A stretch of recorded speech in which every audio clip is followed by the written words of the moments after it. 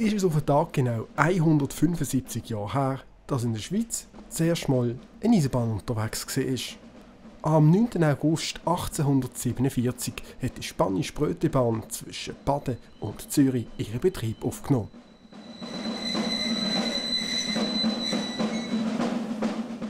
Aus diesem Grund hat heute Nachmittag in Baden ein Jubiläumsanlass mit Vertretern von Wirtschaft und Politik stattgefunden. Mit dabei auch die Verkehrsministerin Simonetta Samaruga, die sich nicht hat lassen, einen Besuch auf dem Vierstand vom Krokodil abzuhalten. Kurz nach der Vieren hat sich der offizielle Jubiläumszug, gezogen vom Krokodil und vom Elefant, auf den Weg gemacht nach Zürich. Eine Fahrt mit der spanisch Brötlibahn-Komposition ist leider nicht möglich gewesen. Die ist dafür ein wenig später vor dem Depot Zürich für drei VIP-Pendelfahrten eingesetzt worden.